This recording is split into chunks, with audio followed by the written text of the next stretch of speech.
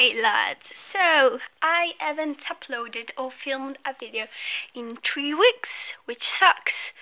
But I have no time to do it. Literally, school is so busy that I barely have time to eat and to sleep and to take a shower, which sucks. Wait.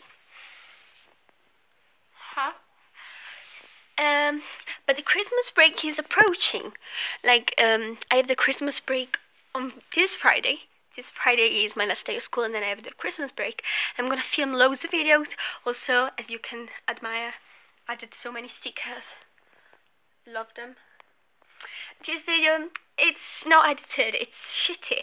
It's shitty quality, shitty um, audio, shit everything. But it's fine because I'm very busy with school.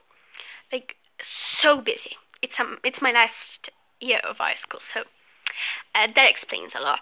But yeah, I decided that I'm gonna make a video about mental health when I can because it's a topic that it's really that is really important. I think it's really important to talk about mental health. So we'll talk about that. If you wanna watch my last two videos, you can click over there and here, and to subscribe to my channel, click here. Yes, I'm I'm boring and so stressed out. Uh, I might faint or die.